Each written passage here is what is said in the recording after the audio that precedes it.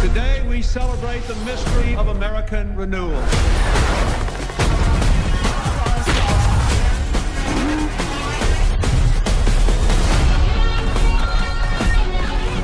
Pre-order the Vault Edition now.